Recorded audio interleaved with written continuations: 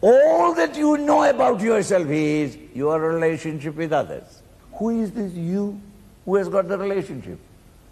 that I don't. See?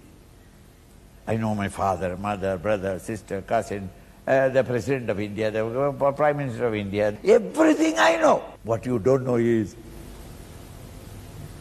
how sad. One thing is certain, all of you are conscious, isn't it?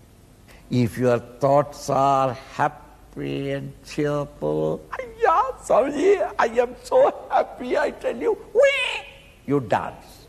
At that time I come and tell you, your wife had an accident.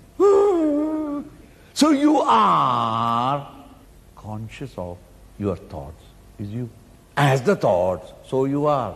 So light of consciousness functioning in the bundle of thoughts, that shining thoughts together is called me.